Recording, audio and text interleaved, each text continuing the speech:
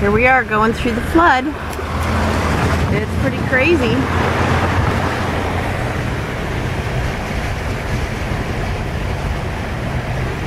I drove through a mile, almost a mile of this in, in Guayabitos the other day going to Rotary.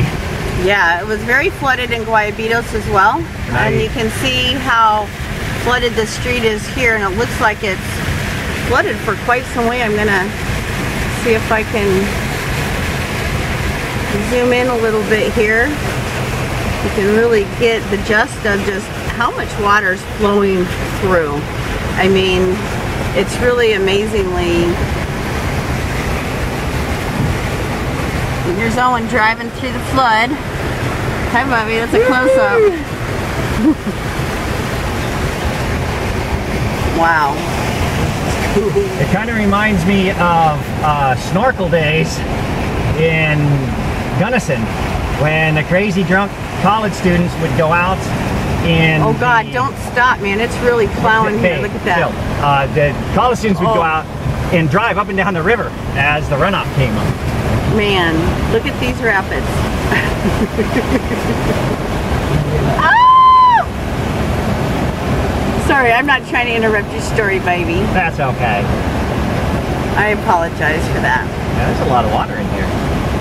But see, we'll come back through here in the afternoon, and this will all be another foot or two down. God, just don't stop.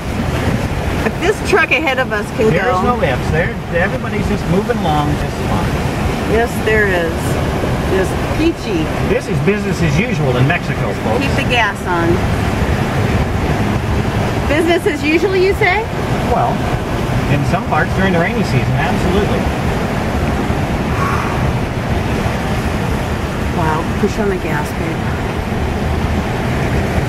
Jesus. Let's get through this. No shit.